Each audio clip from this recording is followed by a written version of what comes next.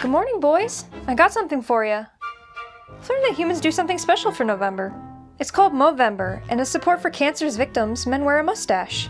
You could do the same. Charlie, dear, I don't think we can do this. Angel and Husker are already hairy. Yeah, use your brain, Charlie. And honestly, can you really see me with a mustache? didn't ask you to imagine it.